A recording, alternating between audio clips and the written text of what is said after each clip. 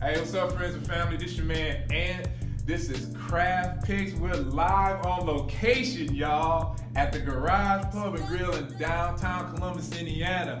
This guy right here, Mark Cady from Bloomington Brewing Company. Yeah, what's up, baby? How you doing? We got the Kirkwood here, the Kirkwood Cream Ale. Kirkwood is is uh, historically known for its bars and establishment and nightlife for college students. Our goal with the label was very similar to a cream and crimson color.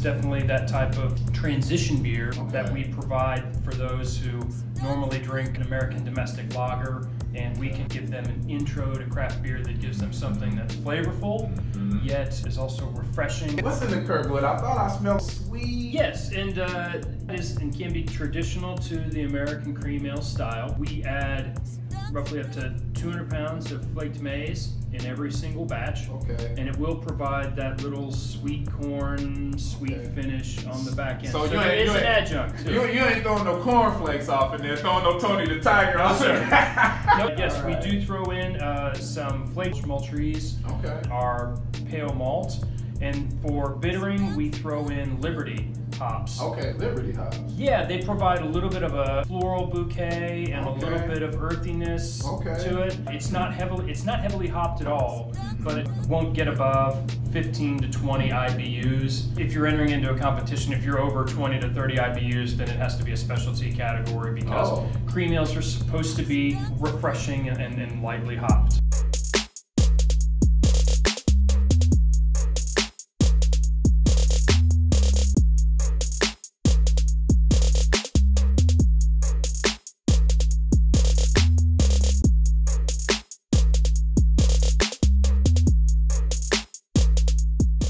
Think we'd love to see more, more, more product that can get into a package soon. We have some popular stuff love to expand on. We're still working on getting our, our beer out to as many establishments and people as possible. Sure. Our goal is just to keep growing at our own pace and staying, Mm. keep educating.